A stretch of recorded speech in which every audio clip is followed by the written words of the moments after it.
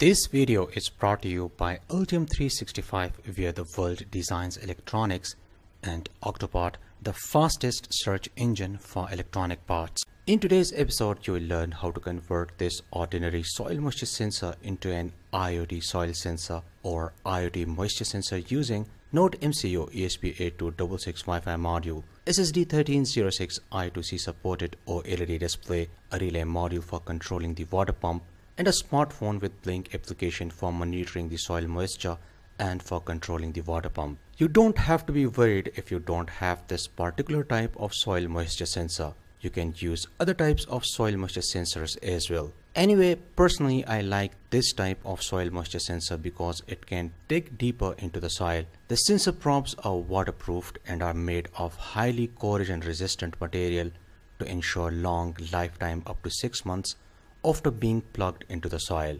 Previously I used it with the Arduino and OLED display module and I practically demonstrated how to make a low cost yet highly efficient soil moisture meter.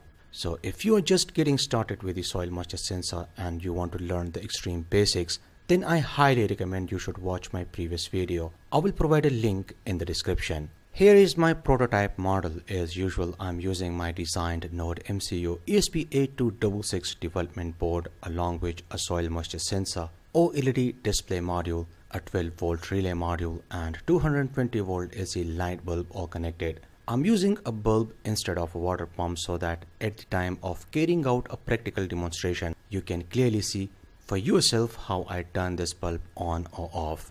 You can also use a 220 volt AC water pump and you can also use a DC water pump. It all depends on your choice. If you have to control a large water pump then you better use a power relay. I have made a separate video on IoT power relay in which I have practically demonstrated how to control a large water pump. Let's kick off our practical demonstration and afterward I will explain everything else. Altium 365 lets you hold the fastest design reviews ever. Share your designs from anywhere and with anyone with a single click. It's easy. Leave a comment taking your teammate and they will instantly receive an email with a link to the design. Anyone you invite can open the design using a web browser. Using the browser interface, you are able to comment, markup, cross-probe, inspect and more. Comments are attached directly to the project making them viewable within Altium Designer as well as through the browser interface. Design, share and manufacture all in the same space with nothing extra to install or configure. Connect to the platform directly from Altium Designer without changing how you already design electronics. Altium 365 requires no additional licenses and comes included with your subscription plan. Get real-time component insights as you design with Octopart built into Altium 365. Octopart is the fastest search engine for electronic parts and gives you the most up-to-date part data like specs, data sheets, CAD models, and how much the part costs at different amounts, etc. right in the design environment. So you can focus on your designs. Links to the Altium Designer Altium 365 and Octopart are given in the description.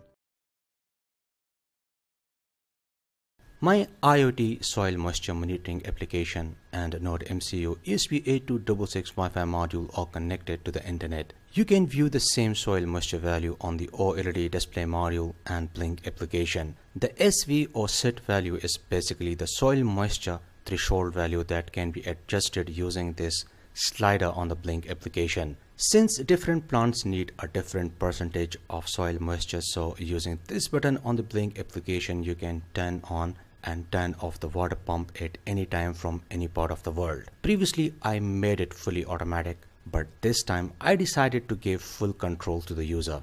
This IoT soil moisture monitoring system also sends a notification when the moisture drops below the set value or threshold value. As you can see as I move the slider, the SV value on the OLED display module also changes.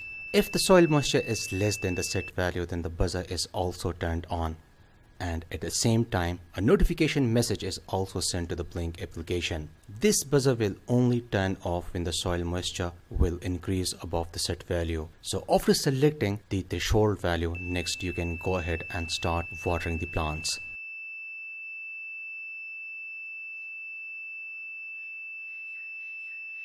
Now if I press the button, the light will turn on which will indicate that the motor has turned on. Now I'm going to add some water and you will see an increase in the soil moisture value.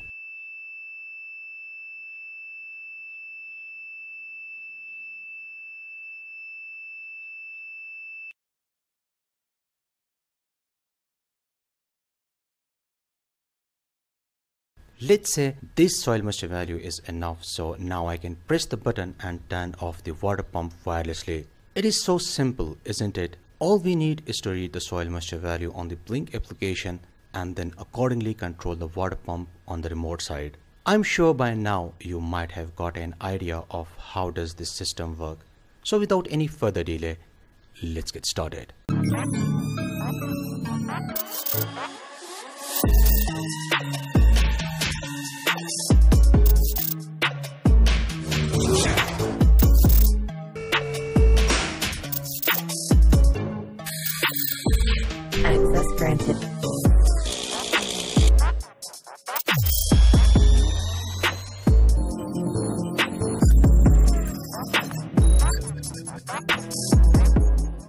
The components and tools used in this project can be purchased from Amazon. The components purchase links are given in the description. The VCC and ground pins of the soil moisture sensor and OLED display module are connected with 3.3 volt and ground pins of the Node MCU ESP826655 module. The analog output pin of the soil moisture sensor interface circuit is connected with the A0 pin of the Node MCU module. The SCK or SCL and SDA pins of the OLED display module are connected with the D1 and D2 pins D1 is the SCL and D2 is the SDA. Digital pin D0 on the Node MCU module is used to control the relay module which is used to control the water pump and digital pin D4 is used to control the 5 volt buzzer. The red wire of the buzzer is connected with the 5 volts while the ground wire of the buzzer is connected with the collector of the 2N2222 NPN transistor. The emitter of the transistor is connected with the ground while the base is connected with the pin D4 through a 10 kilo ohm resistor. The 2N2222 NPN transistor and 10 kilo ohm resistor make the driver circuit. On the left side is the 5 volt regulated power supply which is based on the LM7805 linear voltage regulator. The 7805 regulator accepts a wide range of input voltages between 7 and 28 volts. As a precaution, do not use voltages above 25 volts. So it doesn't matter if you power up your project using a 9 volt or 12 volt battery or you plan to use a solar panel or 12 to 25 volts DC adapter. The 7805 regulator will step down this voltage and outputs regulated 5 volts. You can see the output of the 7805 voltage regulator is connected with the VN pin of the Node MCU ESP826655 module and don't forget to add these 470 microfarad decoupling capacitors with the input and output legs of the voltage regulator. So that's all about the circuit diagram. Now let's work on the Blynk application. Follow the same exact steps.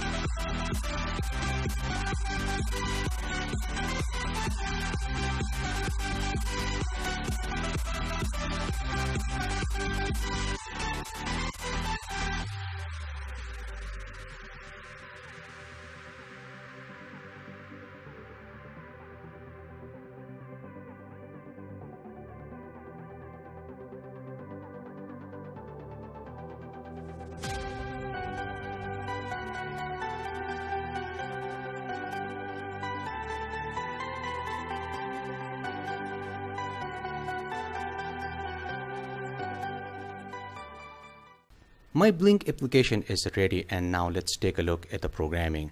Before you start the programming, first of all, make sure you download all the necessary libraries from our website electroniclinic.com. I will provide a link in the description. This is the authorization code which is sent while making the Blynk application. So simply copy your authorization code and paste it over here. Next, enter your Wi-Fi credentials, your Wi-Fi router name or your smartphone hotspot name and the password. These lines of codes are used with the OLED display module. Next, I defined some variables. Inside the setup function, I activated the serial communication, Blynk, OLED display and also told the controller which pins are going to be used as the input and output. Rest of the code is pretty straightforward. We simply run the Blynk, read the moisture sensor, map the moisture value to display the soil moisture value and percentage. Finally, we print the values on the OLED display module and also send the values to the Blynk application through virtual pin v1.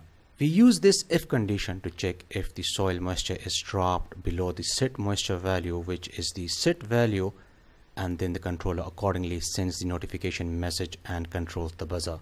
If you remember I was using a slider on the Blynk application to set the moisture level. The value from the slider is sent to the Node MCU ESP826655 module through this virtual pin v2 so that's all about the programming. Support me on patreon for more videos. I hope you liked today's episode. Like and share this video with your friends. See you in next episode and thanks for watching